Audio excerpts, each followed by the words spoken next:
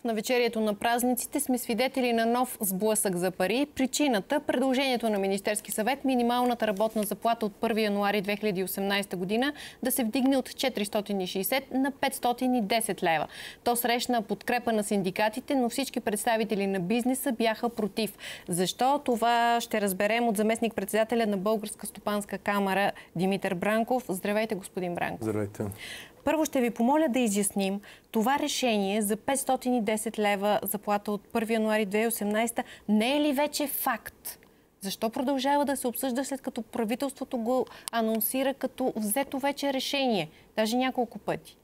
А, всъщност, вероятно визирате времето от преди изборите, защото това число се появи преди изборите като предизборно обещание. Не, не, не. Визирам времето от тази есен.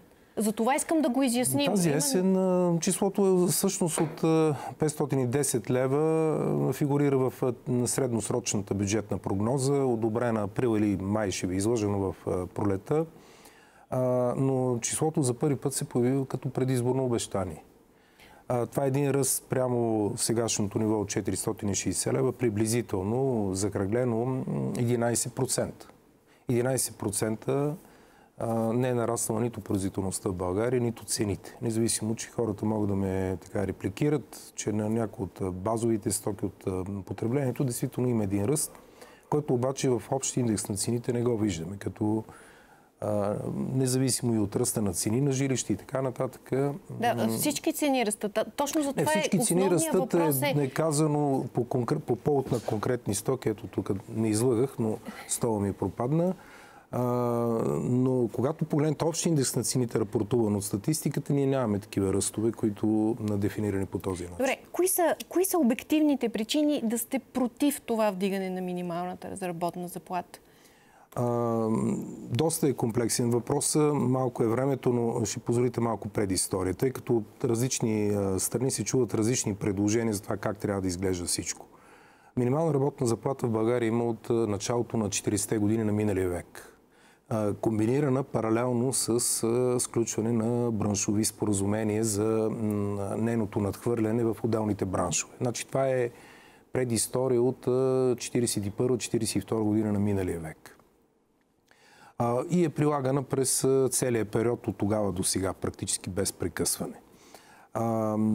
Начина по който това се случва е ежегодно или не ежегодно, но тогава, когато Министерски съвет прецени, с постановление на Министерски съвет, съответно се приема минималния размер за страната. На браншово ниво обаче над 60 бранши има, където са сключени колективни трудови договори. В много от тези браншови споразумения са фиксирани размери за минимална заплата, надхвърлящи нивото на официално определение за страната. В Европа на 22 държави членки прилагат минимална работна заплата. В други няма такава. Има, да. В момента 6 държави членки не прилагат. В момента, ако ме питате, мога само да посоча Швеция, Кипър, Италия и още три държави, които в момента няма как да се сета. Но това, което е важно да се отбележи, ние имаме два основни репера, къде горе-долу трябва да бъде нивото. И това е основният дебат между нас и синдикатите по повод на така речения механизъм за нейното определене. Средното съотношение на минимална към средна заплата в тези 22 държави членки на Европейския съюз е 42%. 41-42%, вече зависи как го смятате. Има особености, но не надхвърля 42-43%. Това, което ни се предлага от колегите от синдикатите в тези разговори, които сме имали в Министерството на труда, са нива от 50. Другия синдикат, те подкрепа, предлага ниво от 60% минимална към средна. 60% при сегашно ниво от около 1040 лева средна заплата за трето три месече, 1050 нека да кажем, означава 600 лева минимална работна заплата.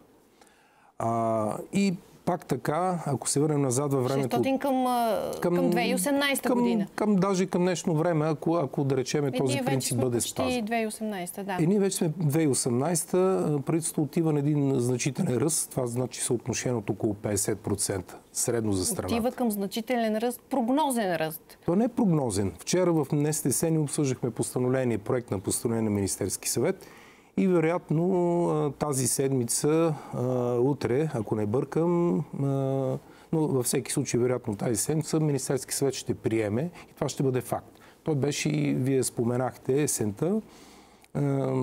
Този ръст беше заложен всъщност и в, като бюджетен индикатор в рамките на обсъждането на бюджета за 2018 година. Така че изненади за числото няма. Ние числото го знаем горе-долу преди изборите. Ясно е, че вие ще, се, ще сте против въвеждането на увеличаването на минималната работна заплата.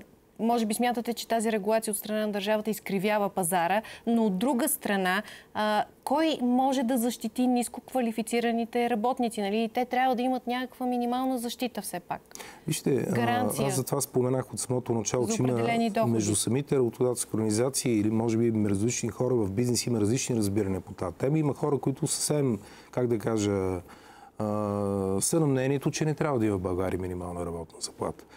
А, сега, това, което сме постигнали консенсус, говоря на национално ниво, работодатели, синдикати, правителство, а, това е ратификация на Конвенция 131 на Международната организация на труда, която е, макар и малко старичка, 70-та година е прията, а, фактически дава основните принципи, две групи фактори, социално-економически, които да се вземат при, да се отчитат при определяне на минималната работна заплата, за която и да е страна.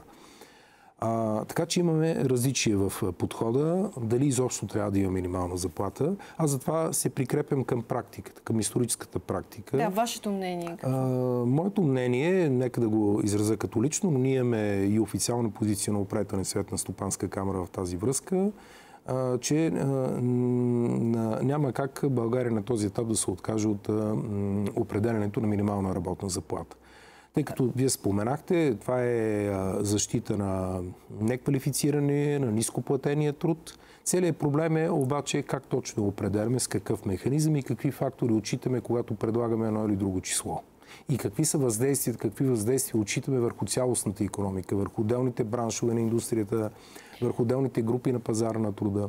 И какви са, какви са мерките, които могат да се вземат, за да се преборим с бедността? Защото според статистиката на Евростат 48% от българите живеят на ръба на бедността. А, има връзка между двата процеса. Така че това е по-важният въпрос. Вижте, да, много добре поставяте въпроса. Дали по административен начин с правителствени постановления и с декрети ние можем да се пребориме с бедността, просто като вдигаме минималната заплата. Нашето твърдение, разбира се, е не. Аз само ще спомена няколко основни въздействия върху пазара на труда, негативни, от, непре, от непремерения ръст на работната заплата. Значи, ние имаме ефект върху заетостта, в общини, така наречените економически депресивни общини, където имаме високи, високи нива на безработица. Ние в момента имаме общини с над 60% безработица от економически активното население.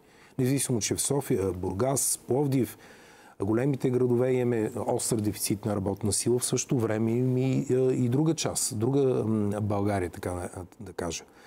Тоест, там е, това съотношение между минимална и средна се приближава до нива от 70, даже 80%. Тоест, минималната, така по, по начина по който се определя в България на тези нива, в отделните региони, тези, които са в най-лошо економическо положение, там имаме изравняване на минималната към на средната заплата за конкретния район с официално определената за страната. И това натиска заетостта на ниско квалифицирани, нискограмотни хора, натиска заплатите на, младе, на младежите, заплатите на жените, забележете.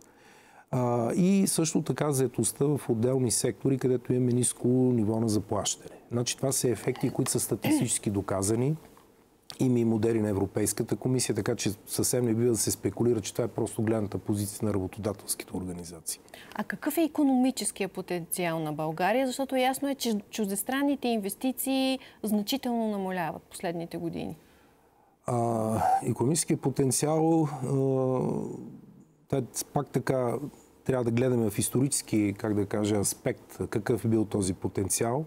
А, точно поставяте въпроса за необходимостта от инвестиции. И минимална и средна не могат да растат, ако нарасте производителността на труда. А тя пък не може да расте, тя се дължи това на... Това е омагиосен кръг, общо Не съвсем омагиосен, защото производителността зависи основно от технологиите, от инвестициите, които вие влагате, за да имате тези технологии от компетентността на работната сила, от нейното образование и от начина по който ви организирате бизнеса във вашето предприятие.